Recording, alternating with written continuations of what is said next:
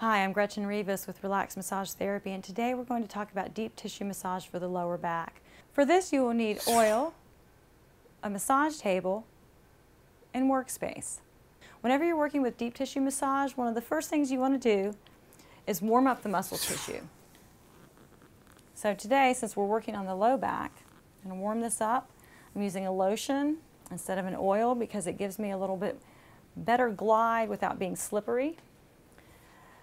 And remember with deep tissue work, you're wanting to connect with the deeper muscle layers and the connective tissue and soften and lengthen and break up adhesions that may occur in the muscle fibers between the, those and the connective tissue.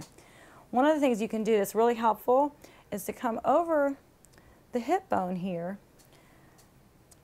and then sink into the quadratus lumborum muscle right here.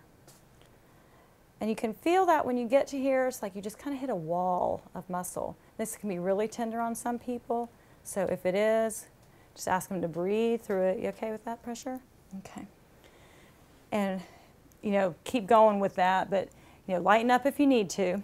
But remember, deep work is about the intention, going slow, going deep. You can get in on this QL, get in around the sacral area here. You can really get in here and work deeply through here. You know, try to use your hands, your fist, your elbows, and your arms a lot. Try not to use your thumbs too much when you're doing deep tissue work because it'll wear them out pretty fast.